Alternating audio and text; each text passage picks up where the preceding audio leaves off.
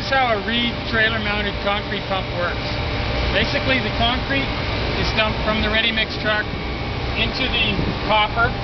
The hopper is set up with an S-tube which shifts from one side to the other.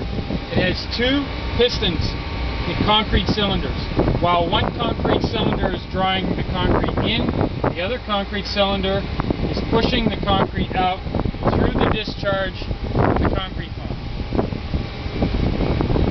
The work and energy that's created to do this mechanical work to the concrete is created by the diesel engine. Diesel engine powers a hydraulic concrete pump or a hydraulic pump which converts the energy of hydraulics into mechanical work through electrical switching.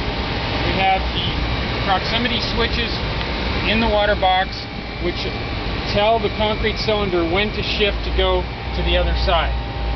That, of course, is all controlled by this control panel and other various sensors around the pump.